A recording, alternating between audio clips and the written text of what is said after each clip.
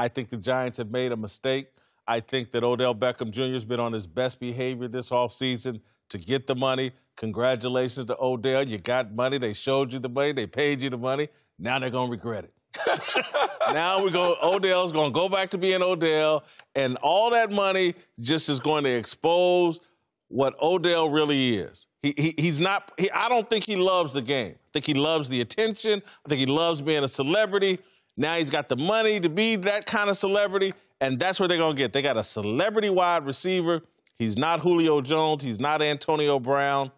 They will not get their money's worth out of this deal. Oh, I disagree. I believe he's the engine to that Giants offense. And if they didn't pay him, if they didn't retain him, that offense can't function. Eli Manning is a different quarterback when number 13 isn't on the field.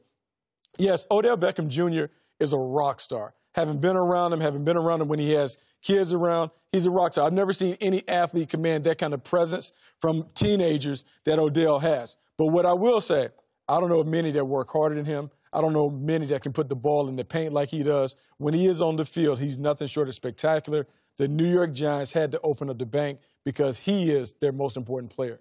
You know what's interesting? Like, had they gone in a different direction in the draft, had they taken Sam Darnold, maybe this doesn't happen. But they know they need to support Eli.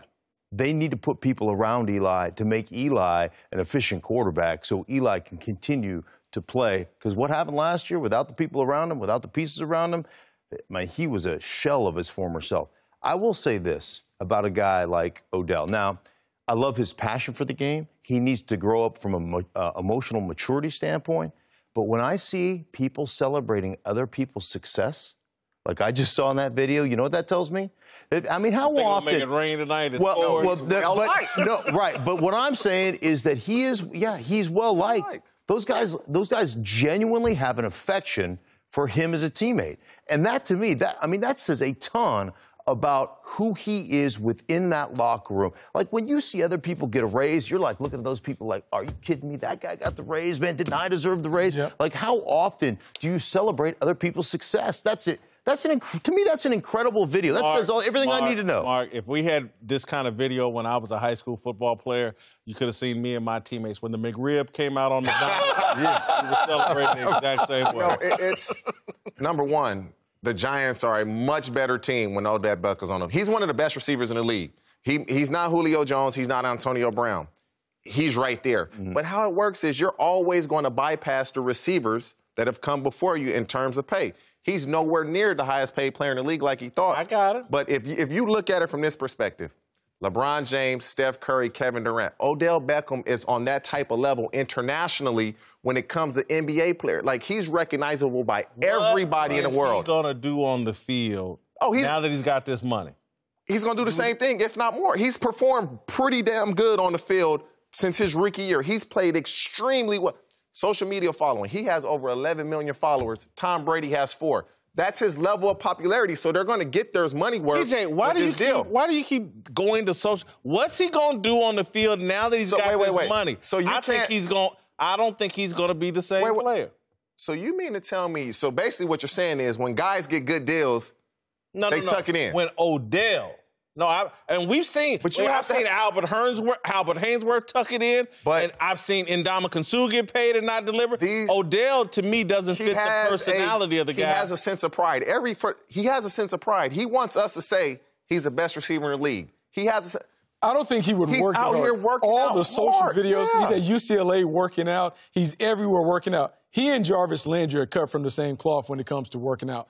Those dudes get after it like no other. And I just believe with the money in his pocket, look, he welcomes the spotlight. He knows there, there are certain guys. There are certain guys. When I was as an offensive player, when you break the huddle and LT you know is on the, on the, you're like, where, where's 56? Where's that dude, right? Junior Seau. There are certain guys you know.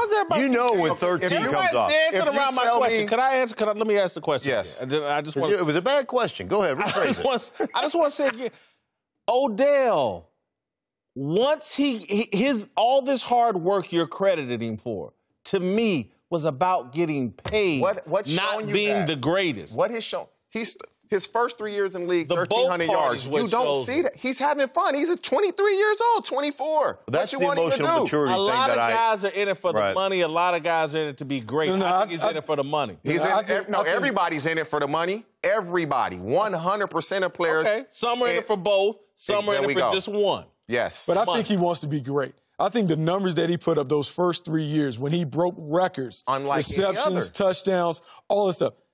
He's a dominant player. I don't think you can find many players that can single-handedly dominate the game like he can from outside.